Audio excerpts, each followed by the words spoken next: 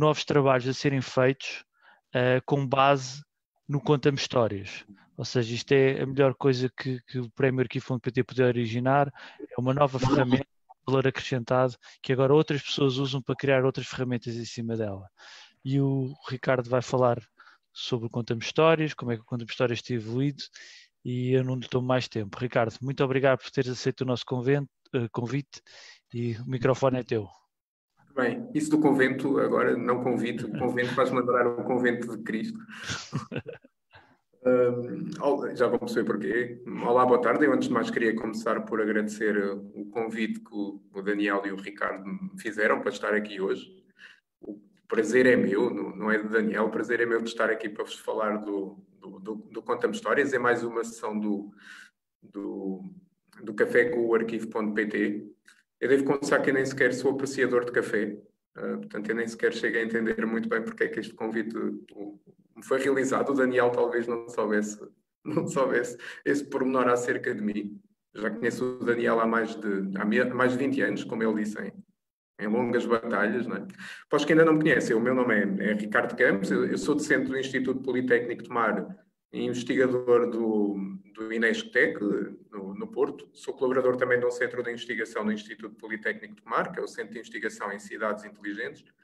Até durante os próximos minutos, tal como o Daniel já aqui focou, vou falar-vos do, do Contamos Histórias, que é uma ferramenta que permite uh, a criação de narrativas, para, uh, narrativas temporais a partir de notícias preservadas pelo arquivo.pt.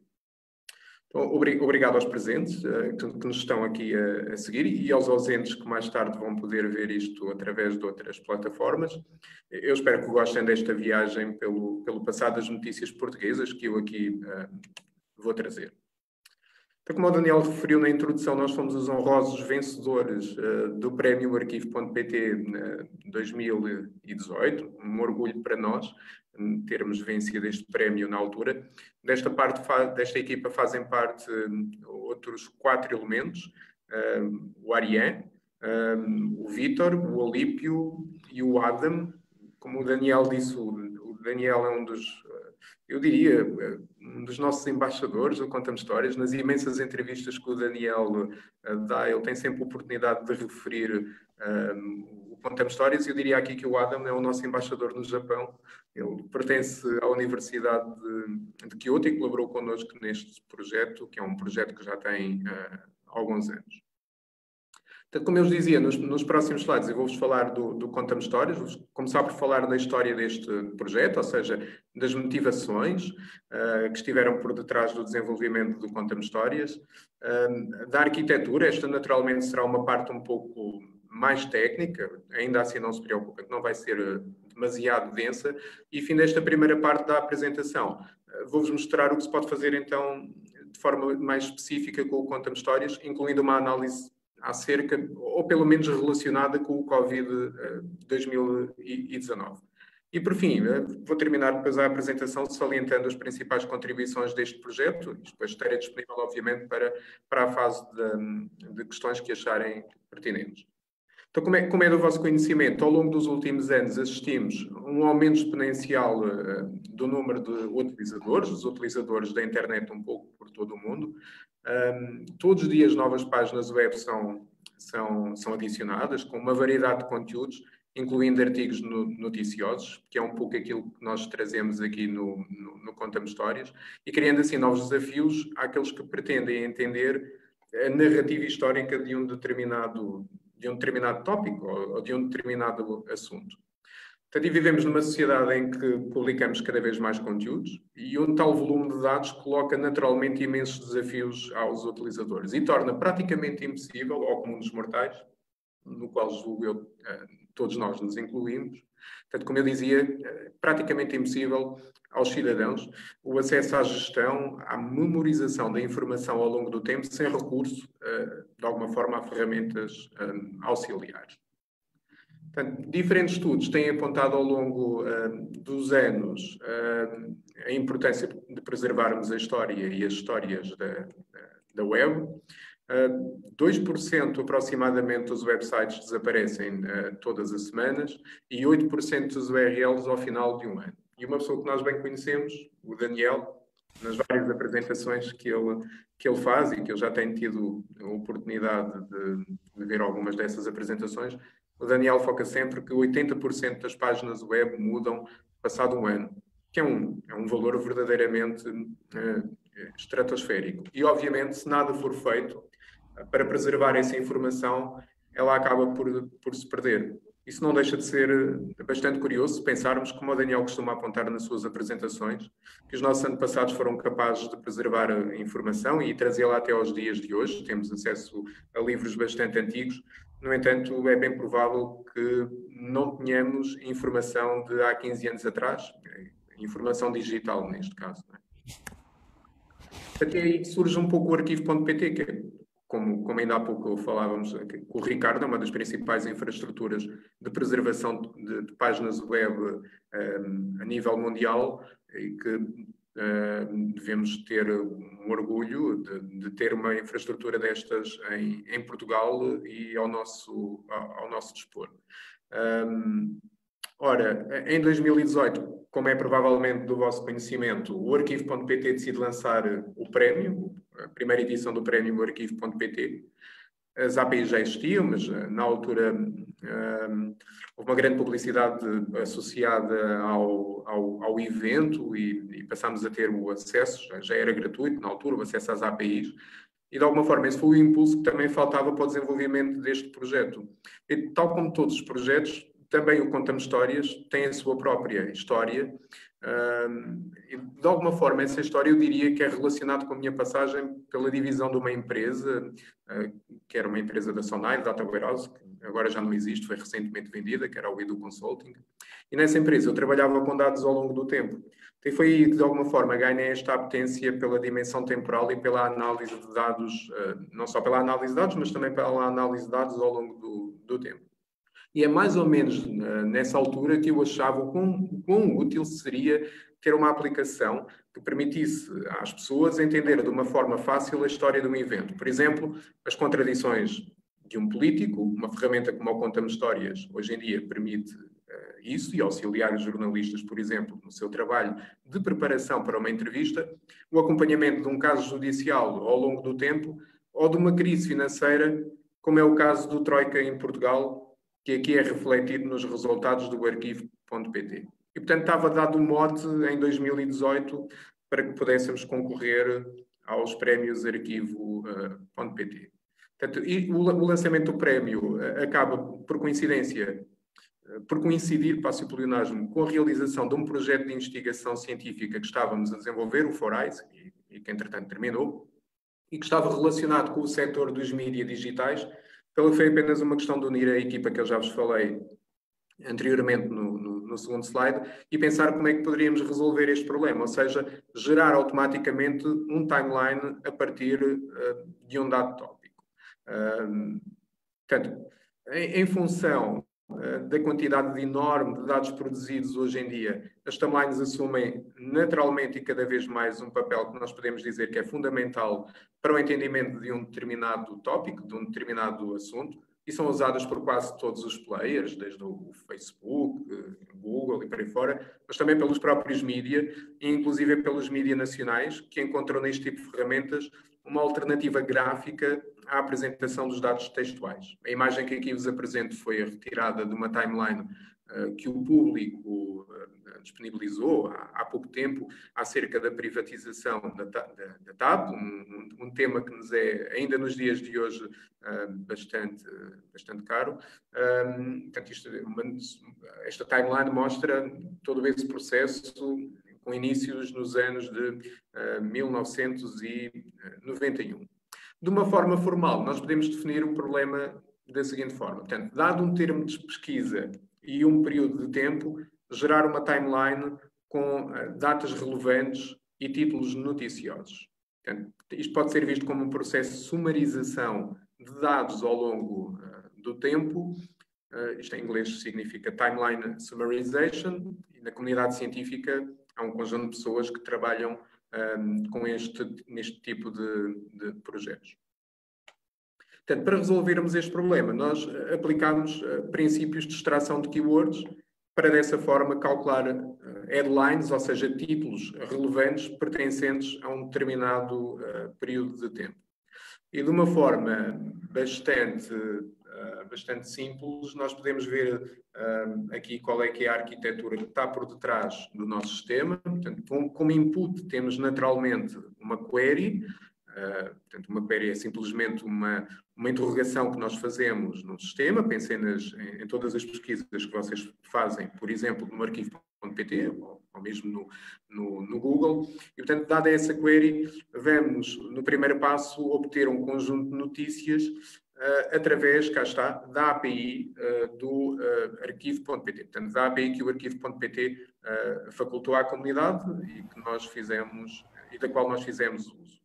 Uma vez com, com, com os dados adquiridos, entra em execução o nosso algoritmo que passava por identificar quais é que eram os intervalos de tempo mais significativos Estamos a falar de notícias que abarcavam cerca de 10, 12, 13 anos e, portanto, era necessário entender, dentro desse período temporal, quais eram os períodos de tempo mais significantes e depois, dentro de cada período de tempo, tentarmos entender qual era o conjunto de títulos, de headlines dessas notícias que seriam mais relevantes de mostrar ao utilizador eh, para não o assoberbarmos com demasiada informação.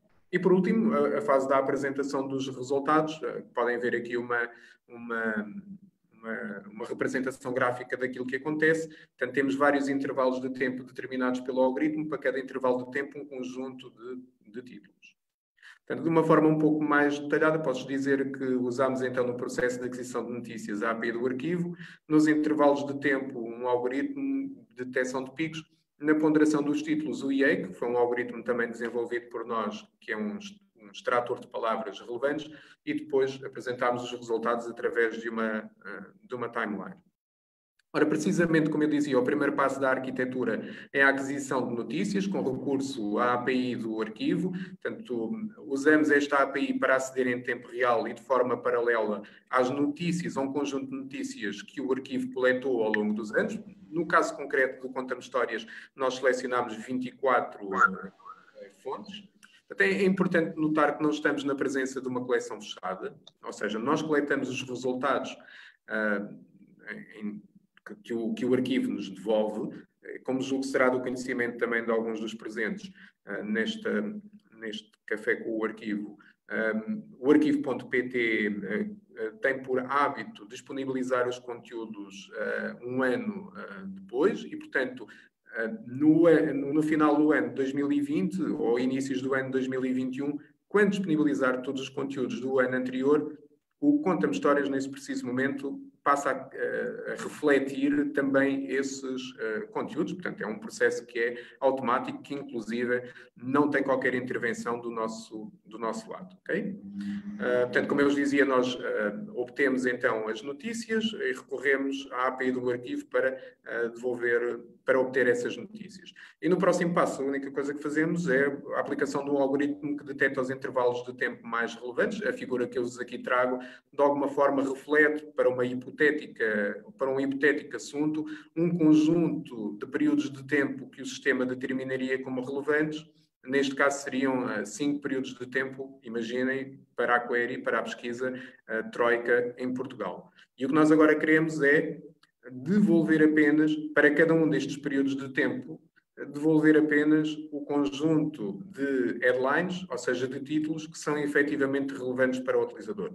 Estamos a falar numa devolução de cerca de 20 a 30 títulos para cada período temporal que o sistema consignou como sendo uh, relevante. Para que isso aconteça, uh, recorremos então ao IE, que, como eu disse, é um extrator de palavras relevantes também desenvolvido pela nossa equipa. E com, com a utilização do IE, que nós conseguimos atribuir uma pontuação a cada título em função dos termos que compõem o, que compõem o título propriamente, uh, propriamente dito. Okay?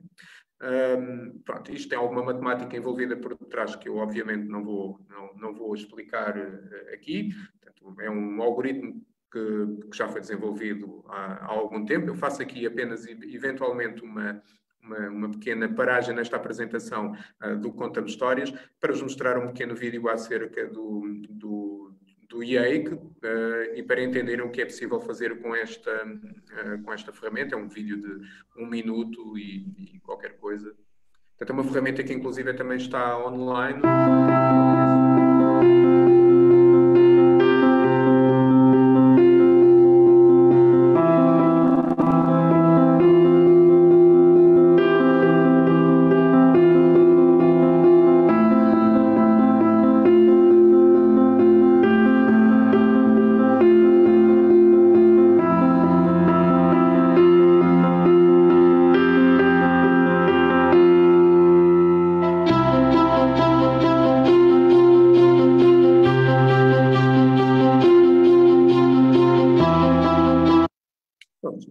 Só para vos dizer então que uh, esta uh, ferramenta pode ser utilizada, ela está também online, tem como input, como objeto de entrada um texto e nós com esta ferramenta conseguimos extrair quais é são as palavras mais relevantes. No fundo, nós utilizamos o IAIC, fizemos uma adaptação do IAIC para o projeto do Conta-me Histórias. O input, neste caso, não são textos, são títulos, e dentro desses títulos todos com que alimentamos o sistema, o IEC tem a capacidade de determinar quais são os títulos mais relevantes de mostrar aos utilizadores. Como eu dizia, este não é propriamente um, projeto, um projeto recente, é um, todos os projetos de investigação, como é óbvio, demoram o seu tempo a, a desenvolver. A oportunidade que surgiu de concorrermos ao concurso do arquivo.pt em 2018 teve um pouco a ver também com o facto de coincidir com a conclusão do projeto do, do, IEIC na, na, na, altura e que, entretanto, também já teve uh, outros uh, desenvolvimentos. Portanto, continuando aqui nesta fase da arquitetura, a apresentação dos resultados, como eu uh, referia, podemos construir uma narrativa temporal do tópico em questão. Portanto, esta era a primeira parte que eu vos queria mostrar, como, é que, como é que funciona por detrás, o, daquela interface gráfica que nós todos temos acesso quando um, trabalhamos com o Conta de Histórias. Esta é a arquitetura que está por detrás do nosso projeto. E eu diria que por aqui termina a primeira parte da apresentação. A segunda parte, que inicio agora, um, vou mostrar-vos um pouco a forma possível de interagir com o Conta-me Histórias. Portanto, é uma, uma parte mais, mais gráfica, mais user-friendly, e que conta uh, como é que nós podemos fazer pesquisas no Conta-me Histórias. Okay? como eu disse, o Conta-me Histórias é um projeto de investigação, é, é, gratuito, beneficia também da gratuitidade oferecida pelo arquivo.pt no acesso às notícias que o arquivo coleta ao longo dos anos. Nós disponibilizamos online através do endereço que aqui estão a ver. Portanto, na, na primeira página do Conta-me Histórias, é possível observar um conjunto de queries que exemplificam a utilidade do, do projeto. Estas queries são feitas um, um, naquele preciso momento. Na verdade, nós estamos a fazer caixa, o que quer dizer que elas foram feitas uma primeira vez e os resultados foram, foram guardados. Tem, tem a vantagem, obviamente, de tornar a devolução dos resultados mais rápida e, por outro, não estar sempre a fazer hum, chamadas ao arquivo.pt o utilizador, no entanto, Conta-me Histórias tem total liberdade para, de uma forma à Google, como se costuma dizer, efetuar a pesquisa pretendida nesta caixa que vocês aqui estão, uh, que aqui podem observar. Uh, no caso que eu aqui trago puramente como demonstrativo, eu, eu, vou explorar os resultados relativos à pesquisa Troika em Portugal, que era a pesquisa que eu já vos tinha mostrado anteriormente uh, no, no, no contexto do arquivo.pt. Um, portanto, como vocês podem observar aqui, os resultados podem ser explorados por aquilo que nós designamos como uma narrativa uh, ao, longo, uh, ao longo do tempo. No fundo, é uma timeline horizontal, também temos a possibilidade de, de ter acesso a uma timeline vertical e depois para um conjunto de termos relacionados, como aqui podem observar, Uh, também vamos uh, mostrar aqui, onde os utilizadores têm acesso a um conjunto de palavras mais relevantes relacionadas com, uh, com estes tópicos. Um, o interessante aqui, portanto, aqui estamos a ver um, um, período de tempo que medeia entre 16 de janeiro de 2011 e 26 de setembro de 2011 e temos então alguma informação importante. Primeiro, quando fomos buscar a informação ao arquivo.pt, coletámos 10.762 uh, páginas, páginas encontradas. Obviamente não há nenhum utilizador que vá ler essa informação e é aqui que o Conta-me Histórias uh, tem a sua principal intervenção no processo de seleção, dentro deste período temporal, dos títulos que são mais relevantes. Veja-se aqui, regresso da Grécia aos mercados depende da ajuda a Portugal, Troika começa a negociar com o governo no início de maio, Teixeira dos Santos, na altura ministro da, das Finanças, apresenta plano da Troika esta quarta-feira, aqui uma relação também com o Parlamento da, da, da Finlândia, a Finlândia aprova plano de resgate a Portugal, Portugal deve pedir ajuda ao FMI, portanto isto de alguma forma uh, mostra todo o processo uh, que levou à concessão deste pedido de auxílio uh, ao, ao, FMI. Uma referência, inclusive, é um banco que, entretanto, já não existe, que é o, o BPN. Uh, Troika em Portugal vai ver que o país já aprendeu com a Grécia, que, como todos recordarão, também foi intervencionado. Uma das situações interessantes é que o utilizador pode clicar em qualquer um destes headlines, em qualquer um destes títulos, e ter acesso à página preservada pelo arquivo.pt. É importante ter em conta que, muito provavelmente, esta página já não existe na web convencional. Portanto, ela existe unicamente em função da equipa do arquivo.pt, de forma automática, é óbvio, coletar este tipo de, de páginas, oferecendo aos, utiliz aos, utilizadores, portanto, a possibilidade de, de alguma forma, viajarem uh, no passado e ter acesso desta feita, não só ao título que nós mostrávamos no Conta Histórias, mas a todo o texto uh, associado à própria notícia. Portanto, e depois o que nós fazemos é dar a possibilidade ao utilizador de navegar no tempo, portanto avançamos, agora já estamos aqui em 2012 e eh, mostramos informação relativa àquele período de tempo. Portanto, a informação que nós consideramos, que nós não, que o sistema, o IEIC, de forma automática, nós não temos qualquer tipo de intervenção, um, que considera mais relevante. Portanto, aqui alguns pontos importantes. Carvalho da Silva, uh, depois temos aqui Cavaco garante ao Obama que Portugal vai cumprir acordo com a Troika, Passos Coelho, uh, referência também a Vitor, Vitor Gaspar, entretanto já estamos no consulado do governo do PSD, daí referência ao anterior Primeiro-Ministro Passos Coelho e ao Ministro das Finanças, o Vítor Gaspar, e entretanto temos aqui outras pessoas, Jerónimo de Souza, que ainda hoje é, é o líder do, do PCP, portanto temos aqui Comissário Europeu, muita informação que de alguma forma permita às pessoas viajar no tempo e ter acesso um, a informação que muito provavelmente já se perdeu na web uh, convencional. Um, temos aqui Bruxelas inclina-se para sanções contra Portugal e Espanha, uh, Troika em Portugal para analisar contas públicas. Portanto, por que é que o projeto se chama Conta-me Histórias? Uh, primeiro, uh, diria que a principal motivação foi, eh, digamos, fazer uma homenagem aos próprios chutes e pontapés, que têm uma, uma, uma música que é Conta-me Histórias e nós achámos-la perfeitamente, este título perfeitamente adaptável àquilo que nós queríamos fazer. Quero oferecer aos utilizadores uma história do passado, portanto, contar aos utilizadores uma, uma história e é daí que decorre este, este, este, este, este nome.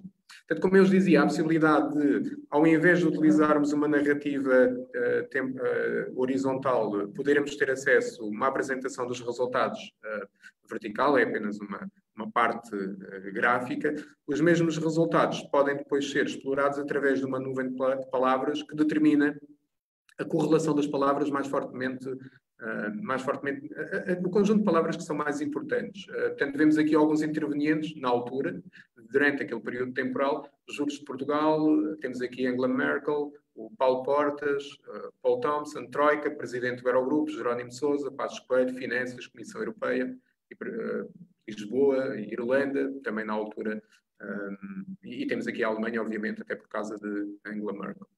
E o Conta-me Histórias é isto. O que nós fizemos posteriormente foi adaptar o Conta-me Histórias também um, a outras fontes que não o arquivo.pt. Portanto, a nossa base principal é e será sempre, continuará a ser o arquivo.pt.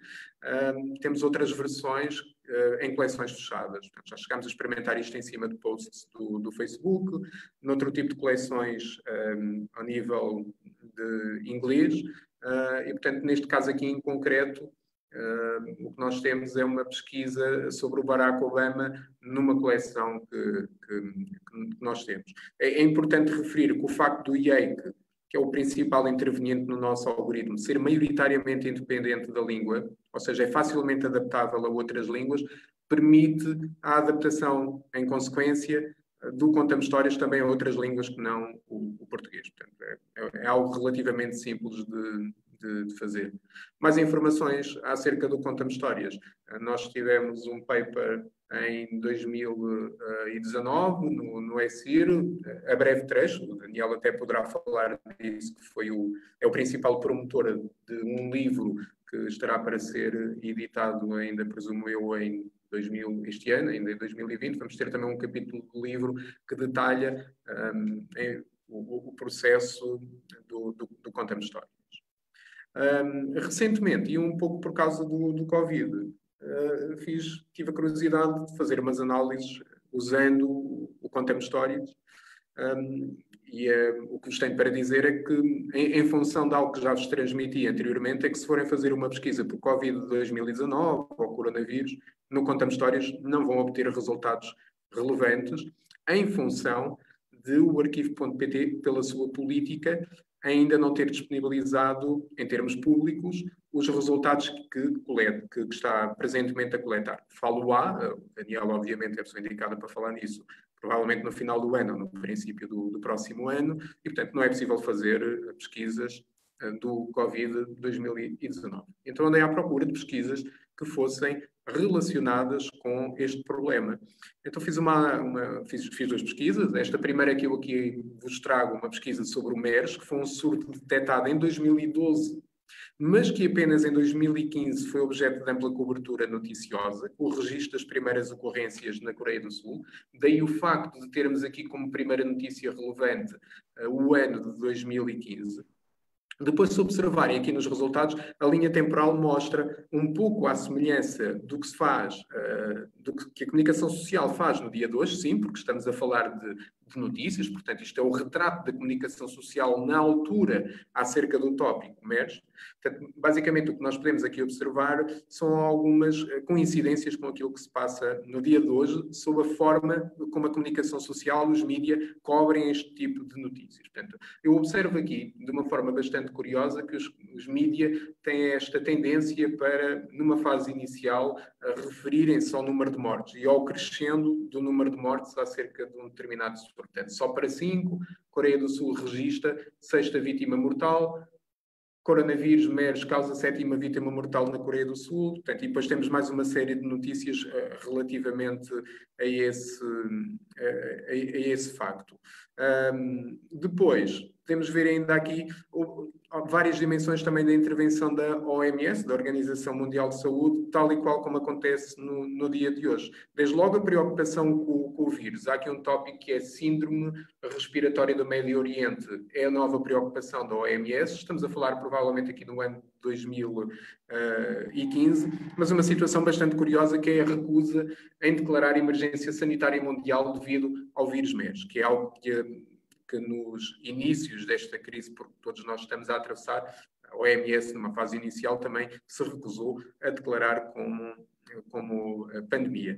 E mesmo, outro aspecto interessante, a sugestão da proibição de viagens. Portanto, se nós formos ver aqui, hum, tinha aqui um resultado que se referia, olha, temos aqui China reduz voos para a Coreia do Sul devido ao coronavírus. Uh, e a OMS aconselha a Coreia do Sul a proibir viagens de potenciais infectados com coronavírus MERS, que é algo que também ouvimos no, nos dias de hoje. E a narrativa que aqui trago termina com três apontamentos que eu acho que são interessantes e que de alguma forma estão em linha com aquilo que se projeta hoje também no, no nosso país para, para, o futuro. Primeiro, no nosso país, eh, a nível mundial, referências em investimentos, portanto, a parte económica. A Coreia do Sul investe 2 mil milhões para atenuar eh, efeitos do, do, do MERS. Um, depois, morreu o último infectado com MERS na Coreia do Sul, é algo que todos nós ansiamos no caso do Covid 2019, ver uma notícia que, um, de alguma forma, indique que foi o, final, o final de tudo. Eu, eu acho este título bastante curioso. E, e, finalmente, podem observar aqui no último, no último título, camelos podem ser a fonte do vírus MERS. Portanto, onde, onde antes havia camelos, Hoje, ou pelo menos dizia-se no início, poderá ter havido morcegos ou mesmo pangolins. Portanto, este tipo de análise um, eu acho que é útil para o conhecimento de todos, inclusive e acima de tudo também para os próprios uh, jornalistas quando vão escrever uh, informação, mas para o próprio comum, para os estudantes que têm que um, obter informação, mas para para o comum dos utilizadores do Contamos Histórias que quer fazer paralelismos com aquilo que aconteceu no passado portanto, e de alguma forma entender aquilo que aconteceu no, no, passado. Nós aprendemos muito com a história, as pessoas às vezes esquecem-se esquecem disso. O segundo exemplo que eu aqui vos trago tem a ver com a síndrome respiratória do Médio Oriente, é a mesma coisa que o, que o, que o MERS, mas dito de outra forma, portanto é uma, é uma hum, é, é uma pesquisa que vai retornar resultados relativamente similares. Eh, vamos ver aqui alguns resultados interessantes. Portanto, identificados anticorpos contra coronavírus da síndrome respiratória do Médio Oriente. Eh, eu acho isso bastante interessante. Cientistas anunciam um composto que combate coronavírus, como é o, do MERS, e depois vemos também algo que tem a ver com a evolução do próprio coronavírus na, nos Estados Unidos. Portanto, o presidente da Coreia do Sul cancela a visita aos Estados Unidos devido ao sorto do coronavírus. Portanto, aqui, também aqui houve uma importação por parte do coronavírus uh, na altura, uma importação que decorreu uh, da, da, da, Coreia do, do Sul. e, obviamente, isto demonstra também uma preocupação em conter o vírus, tal como, como hoje ah, acontece com o cancelamento da viagem aos, aos Estados Unidos. E tal como hoje, também em 2015 se assistiu a um crescimento das compras online, pelo menos os mídias na altura reportam uh, exatamente esse, uh, esse, esse fator. Está aqui um resultado onde se refere um, alguns para aqui, agora não estou a encontrar. Havia aqui um resultado onde, onde se referia um aumento uh, proporcional ao facto das pessoas terem ficado em quarentena, ao, à, à, compra de, que terá levado à compra de maiores produtos em termos um, online. Depois aqui uma referência também ao turismo, turismo da Coreia do Sul afetado por síndrome respiratória do, do Médio Oriente, e havia aqui uma referência também um, à nossa DGS, exatamente, DGS renova recomendações sobre o coronavírus do Médio Oriente, que é algo com que, obviamente, nós hoje em dia, e infelizmente, estamos um, bastante. Uh, uh, bastante habituados. Na altura, eu diria, nós olhamos para trás e vemos estas notícias, poucos de nós imaginavam, como é óbvio, passar por uma situação similar àquela que estamos uh, a viver. Este era o grande sumo que eu queria trazer aqui sobre o, o Contamos Histórias. Eu vou terminar apenas fazendo aqui, deixando uns slides relativamente a alguns daqueles que são os nossos contributos também para a comunidade científica. Alguns destes projetos foram uh, financiados por, por, fundos, alguns desses fundos nacionais, fundos europeus, e portanto nós temos por hábito retornar para a comunidade uh, científica os nossos projetos. Portanto, o software que desenvolvemos uh, de uma forma gratuita, na linha, por exemplo, daquilo que o arquivo.pt uh, eh, uh, eh, fazia. Portanto, eu vou-vos deixar aqui algumas uh, referências e dizer-vos então que o Conta-me Histórias nós temos, para aqueles que querem trabalhar programaticamente com eles, portanto, em termos de programação, temos não só uma API, mas também o próprio package, portanto, isto está disponível para a comunidade científica e esta é a tal API. Recentemente recentemente não, já, já tem um ano, uns alunos meus do, do Politécnico de Tomar um, desafiei-os para lançarem uma versão um, do, do Contamos Histórias online no, no, no, Google Play. agradecer também ao, ao, Daniel que na altura deu importantes sugestões para este item. E como do Contamos Histórias faz parte também o EA, que é uma parte bastante importante, deixo-vos aqui também referência ao facto de disponibilizarmos o, o package para o EA, que permite, que permite às pessoas trabalharem programaticamente com o EA, a API, e também aqui uh, temos uma versão do EA uh, no, no Google Play. Portanto, para terminar, eu, dizia-vos, queria mostrar-vos só que é o Conta-me Histórias. Portanto, no Conta-me Histórias, o que é que nós propomos às pessoas? Um portal online, como já tivemos a oportunidade de ver, que oferece ao utilizador a possibilidade de analisar um qualquer tópico ao longo do tempo. Isto é um ambiente de pesquisa sem qualquer tipo de restrições. Portanto, nós consideramos aqui um universo de 24 fontes noticiosas. Eh, é importante notar que, ao, a partir do momento em que nós oferecemos esta solução à comunidade científica, ela pode basear as suas pesquisas no conjunto de notícias que muito bem entender, pode inclusive ser notícias de âmbito local. É importante ter a noção que quando se vai fazer uma pesquisa no Conta Histórias, estamos a fazer uma pesquisa uh, em cima de fontes noticiosas uh, nacionais e, como tal, não vale a pena, por exemplo, perguntarem uh, so, informações que, que, obviamente, não tiveram cobertura jornalística. Um, os utilizadores têm a possibilidade de filtrar resultados por data ou por fonte de notícias, têm diferentes formas de exploração dos dados. Eu mostrei-vos uh, as timelines, mas também uh, a própria nuvem. Portanto, nós consideramos que isto, na altura, foi uma, uma, solução inovadora que detecta não só os títulos mais importantes, mas também os períodos de tempo mais relevantes. Estou mesmo a terminar. Em função de termos ganho na altura o prémio do arquivo.pt, acabámos por ter por, por, dar algumas entrevistas, e uma das coisas interessantes que, que nos perguntavam, eu recordo de uma vez termos ido à TSF, e, e o jornalista perguntava, um, um pouco com, com, a sua graça e com brincadeira, uh, se isto iria um, eh, acabar com o trabalho dele. Portanto, ele, na verdade, perguntou-nos duas coisas interessantes. Uma era se Conta-me Histórias era igual um, ao Google. E não é, de facto. Portanto, a menos que o Google, que a Google invente o Google Timeline, o Google uh, não tem nenhum produto deste e, portanto, Contamos Histórias não é uh, similar uh, ao Google. a Google, maioritariamente, destina-se a devolver resultados que nós temos por hábito dizer que são bastante recentes. O Contamos Histórias, fazendo uso dos dados do arquivo.pt, olha para o passado.